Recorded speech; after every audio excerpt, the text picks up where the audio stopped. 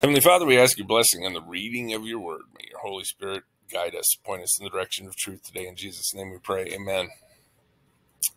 Acts 15, a little bit of repeat. And certain men which came down from Judea taught the brethren and said, Except ye be circumcised after the matter of Moses, ye cannot be saved. Uh, now, some uh, many Jews uh, had a difficult time letting go in this transitional period, this transition from the dispensation of law to the dispensation of grace, letting go of the Mosaic system. Uh, now, uh, I believe we will see saved people uh, who struggle with certain things even today. A lot of people struggle in legalism and uh, they may be saved. Some may not be saved. Some may be relying on their own good works. Uh, but I've seen uh, people who are saved and not saved struggle with the idea of legalism. Uh, even in my walk, uh, I struggled with that for a time, and many people uh, have different things that we need to learn uh, by studying God's word. Uh, continuing on, verse 2 When therefore Paul and Barnabas had no small dissension and disputation with them, they determined that Paul and Barnabas and certain others of them should go up to Jerusalem to the apostles and elders about this question. So they're going to have a meeting. They're going to have uh, really a council of the church about uh, law versus grace or law versus liberty.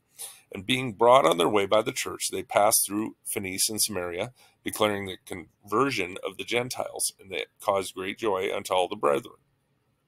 Uh, and when they were come to Jerusalem, they were received of the church and the apostles and the elders, and they declared all things that God had done with them. But there rose a certain sect of the Pharisees, which believed, saying that it was needful to be to circumcise them and to command them to keep the law of Moses. Now, these are Christians. It says they believed. And that's one thing I always uh, notice and notice more and more, especially going through Acts. It says uh, there are those that believed. And I believe we have believers here in these Pharisees, uh, but they're saying you have to keep the law of Moses. So we're going to try to answer that question. Now, Galatians 2.15 says, knowing that a man is not justified by the works of the law, but by the faith of Jesus Christ. Even we have believed in Jesus Christ, that we might be justified by the faith of Christ, and not by the works of the law. For by the works of the law shall no flesh be justified. Now, if you take that last part, there has never been anyone who has been justified by the law, by keeping the law. And all you have to do is say, well, if you were justified by keeping the law, you would have had to keep it perfectly. But to offend in one point of law makes you guilty of all. That's what James 2.10 says. Uh, so as soon as you told a lie, you broke the perfection of the law. I firmly believe when Moses came down off the uh, Mount Sinai, and he saw the people of Israel sinning. They were in all sorts of uh, grotesque sin. He smashed the Ten Commandments, and that's a picture that when we don't have the perfection of God, that man couldn't do it. In the dispensation of law, the law wasn't given. It says in Galatians 3.24, and Galatians uh, is where this council was held, actually, and uh, we should study Galatians more thoroughly in conjunction with Acts 15. Uh, but we're not going to do that. We're just going to focus on Acts 15, 1 to 12 today. And uh, Galatians addresses uh, the idea that man is not justified uh, by the law. Galatians 3.24, it says, Wherefore the law is our schoolmaster to bring us to Christ. Uh, but uh, once we have been justified by faith, we are no longer under a schoolmaster. Now, that doesn't mean we just sin anytime we want but we're no longer under the law because to be under the law uh, is where someone is uh, not saved. Uh, you're under the law. That's what's going that's what's going to judge you. Okay. Uh, verse 6 And the apostles and elders came together for to consider this matter. So here they have the meeting of the church.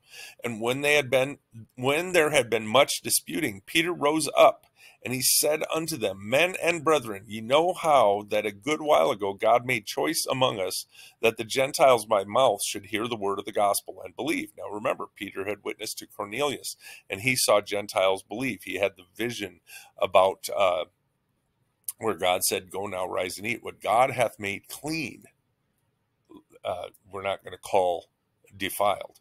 Okay, verse 8 And God, which knoweth the hearts, bear them witness, giving them the Holy Ghost, even as he did unto us. So the Gentiles received the Holy Ghost, and, and in receiving the Holy Ghost, they they didn't they weren't keeping the law. And verse 9, and put no difference between us and them, purifying their hearts by faith. Ephesians 2, 8 and 9, it says, For by grace ye are saved through faith, and that not of yourselves, it is the gift of God, not of works, lest any man should boast. There won't be anyone in heaven boasting in their own good works. It's not Jesus Christ plus good works. It is by faith alone in Christ alone that people are saved. Now, again, that doesn't mean we go on sinning, that we won't do that. Now, therefore, why tempt ye God and put a yoke upon the neck of the disciples, which neither our fathers nor we were able to bear? And we're going to end there today, actually, in verse uh, 10. You know, he's saying we're not going to put that yoke of bondage back upon them. Uh, they were supposed to be justified by faith, but they uh, went on thinking that they could be saved by the law, and that was their mistake. Uh, so hopefully, we're